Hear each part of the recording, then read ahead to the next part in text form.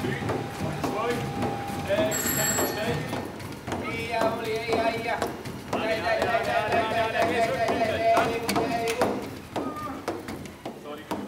Ik ben opzanten.